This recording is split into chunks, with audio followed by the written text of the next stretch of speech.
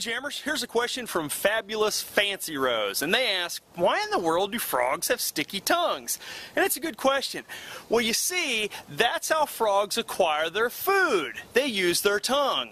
They'll sit and wait patiently until they see an insect or a worm, and if they spy it, they they throw out their tongue, and the insect or the worm sticks to the tongue. Then they pull it back into their mouth. That's why frogs have sticky tongues. Wish I had a sticky tongue.